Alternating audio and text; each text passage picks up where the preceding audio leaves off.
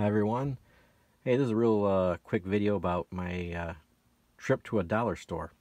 Now you might have seen my previous videos I talked about using these Tamiya powders and little applicators that I tend to wear out. And I think I wear them out because, uh, let's be honest, I have the strength of 10 mile railroaders. So yeah, don't act like you're not impressed. Anyways, I wear these things out and I have the higher end brushes. You can see the plastic sticking out. And these things are costing me, the nice ones anyways, $5.50. So I was told, hey, check out the dollar store. They may have foam makeup brushes. So I was at the grocery store, which is right next door to the dollar store. Now here we have dollar trees, they're called.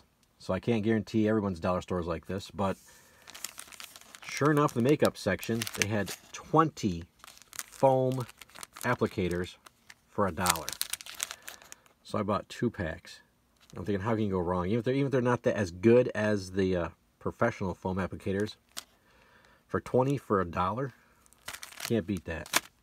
And while I was there, I kept looking around at other stuff, and they have a big craft area. And I also picked up this uh, cutting mat for a dollar. I'm like, holy cow. I mean, it's not as thick. Like, here's my, uh, you can see the difference.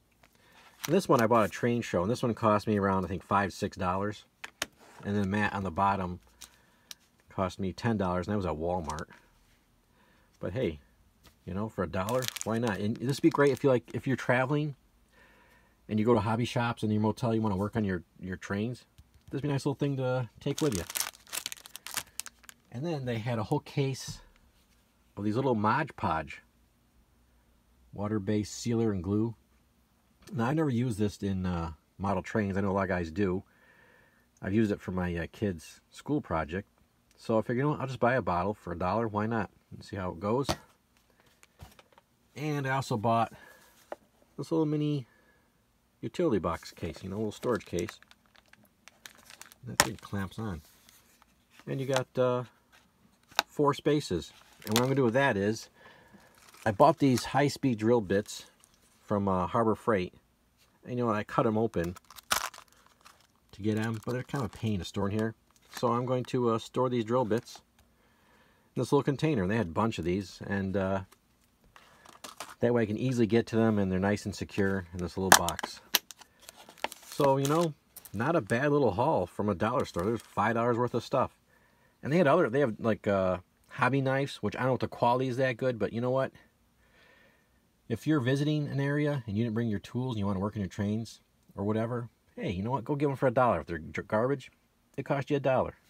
But there was just tons of stuff. I was surprised because I haven't been to a dollar store in ages. So, like I said, I can't guarantee you'll find this at your dollar store, but you know what? I know a lot of guys have done videos too on dollar store finds, but you know, it really isn't a bad thing to check out.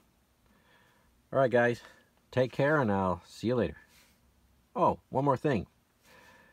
I want to show you a hat that I got. So let me flip the uh, camera around. Yeah, one of my subscribers gave me this hat. It's the first uh, gift I've gotten from a subscriber. So I guess uh, people are starting to like me. Mm -hmm. But anyways, thanks, John. I love this hat. And if you look close, there's a uh, steam engine on it. And actually what this is from is uh, there was a baseball team in Syracuse, New York that used to have this as their emblem or logo, whatever. They since switched to the Mets, but this is a wicked cool hat. So once again, hey John, thank you. I love it. All right, everybody. Thanks for watching, and I'll see you later. All right, one more thing. I know I keep saying that, but okay, this is the final thing. Once I ended the video I just made, I was opening up these packages, and this is really cool. I just want to show you quick. So you take it out of this, you know, Thathian chic packaging. And check this out. A little folder, plastic folder for all your brushes. Yeah, I thought that was pretty cool. All right, now I'm done. All right, everyone. Have a great day. I'll catch you later. Bye.